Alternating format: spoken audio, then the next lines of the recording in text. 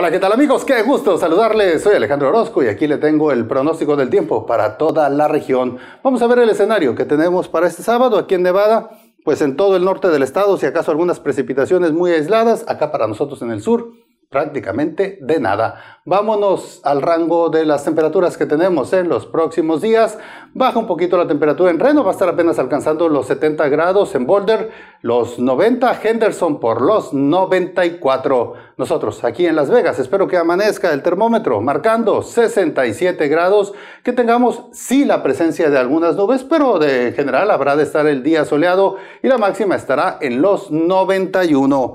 El día menos tibio que tenemos a la vista es este y es que el termómetro va a estar amaneciendo en los 66, la máxima no va a llegar ni siquiera a los 90 y de ahí volverá a comenzar a subir otra vez y es muy probable que otra vez la próxima semana tengamos temperaturas bastante importantes. Este es el pronóstico del tiempo, yo me encargo de que sea preciso, usted encárguese de que sea útil.